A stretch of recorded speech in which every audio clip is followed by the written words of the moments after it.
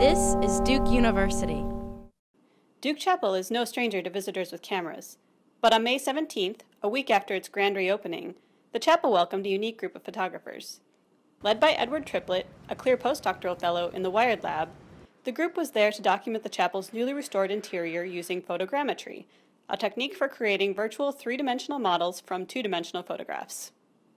Uh, photogrammetry, uh, the way that I always describe it is it's a reversal of the photographic process. So uh, in photography, we are trying to take the three-dimensional world and we capture it in two dimensions.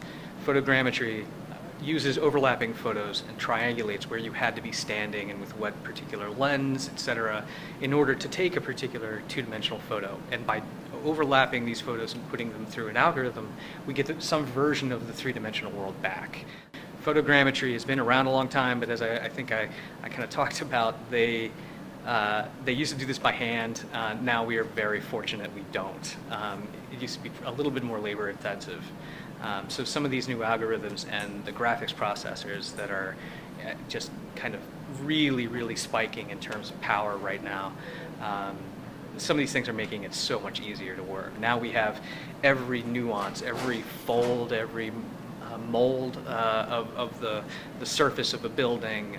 It was kind of an interesting moment where all the restoration had been completed and we're actually trying to get a nice three-dimensional snapshot of all of the work that had been done and so that potentially we can use this as a document for whenever there are changes to the building, if there needs to be um, some kind of molding that is that is maybe deteriorated down at some time in the future, we we actually have a three-dimensional idea of what that um, what that that piece of stone really potentially looked like.